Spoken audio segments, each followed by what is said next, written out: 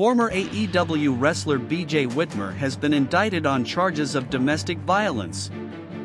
Whitmer was arrested on June 4 and was charged with first degree strangulation and second degree burglary. He spent eight days in jail before making bail and was shortly released by AEW when news of his arrest became public.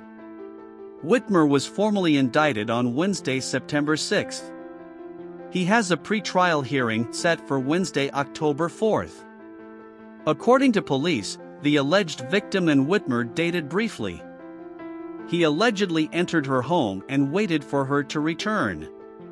When she did, he reportedly grabbed her by the throat and threw her down on the couch. The alleged victim stated she came home, and he was standing at the top of the steps waiting for her. She said she was literally fighting for her life. Whitmer allegedly threatened to end her life and was choking her. When she told him she had already called the police, he let her go. AEW released him on June 12 and issued the following statement. BJ Whitmer has been terminated following his arrest on domestic violence charges. While talent and staff are ultimately responsible for their own personal actions, this behavior is intolerable within AEW.